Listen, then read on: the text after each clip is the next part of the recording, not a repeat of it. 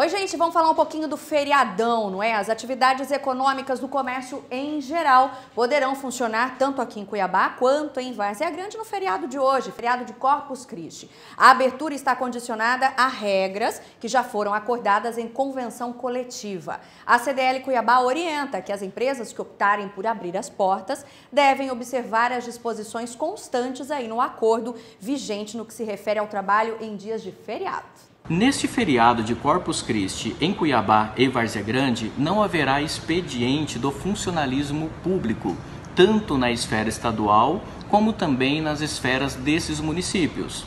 As únicas exceções serão os serviços considerados como essenciais, principalmente aqueles voltados para a saúde e segurança da população.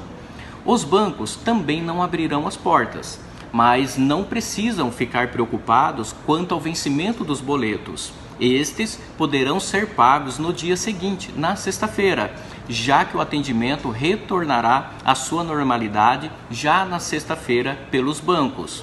O comércio, este poderá abrir as portas, porém, aquela empresa que optar em abrir as portas e convocar o colaborador terá que pagar hora dobrada.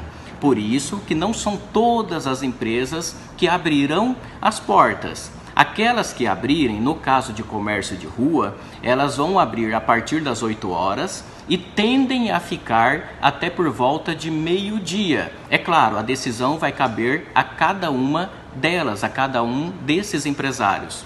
Já as lojas existentes dentro dos shoppings, estas abrirão das 14 até as 20 horas e a praça de alimentação ficará aberta das 11 até as 22 horas. Então é isso, você pode aproveitar o seu feriado, bater perna pelo centro de Cuiabá e de Várzea Grande, que as lojas estão autorizadas sim a funcionar. Aproveite o feriado, eu fico por aqui, mais informações acesse leiagora.com.br.